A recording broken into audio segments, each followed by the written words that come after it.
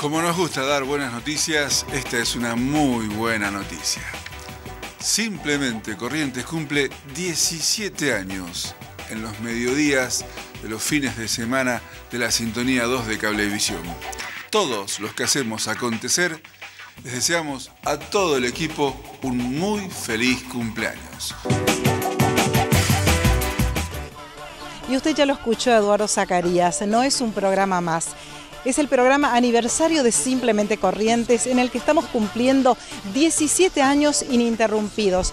Podrá parecer mucho tiempo, podrá parecer poco tiempo, pero lo cierto es que hace 17 años entramos los mediodías del fin de semana, sábado y domingo, a su casa con esta propuesta de Simplemente Corrientes, tratando de llevarle una hora agradable, amena, que disfrute de acontecimientos sociales, deportivos y culturales.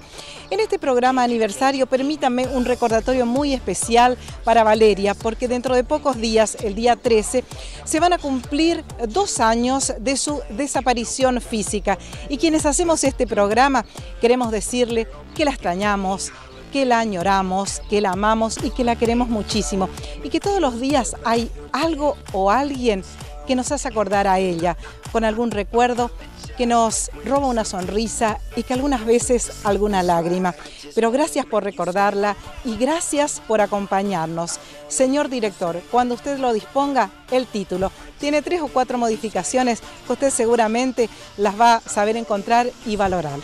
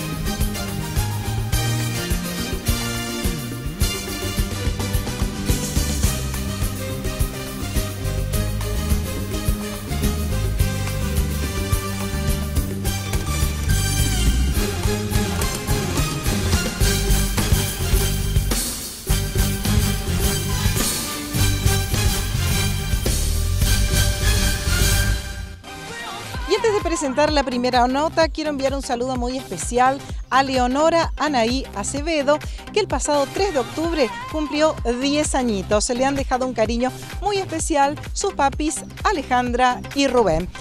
La primera nota tiene que ver con una degustación de vinos y champanes organizada por la bodega y que se llevó a cabo en Enófilos.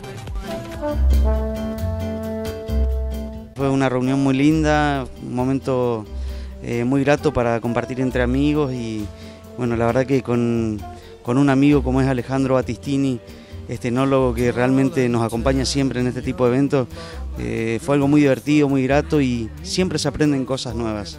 Justamente eso te iba a decir, se, se disfruta y además se aprende. Sí, sí, sí, la verdad que sí, a mí siempre me costó un poco entender el tema de por qué la gente dice o uno habla de que el vino tiene roble o por qué tiene sabor a chocolate o por qué tiene esto. Y la verdad que sí, con este tipo de cosas lo que uno aprende es más que nada descubrirse personalmente, porque todos sabemos apreciar esos sabores, pero algo que muchos lo tenemos encerrado.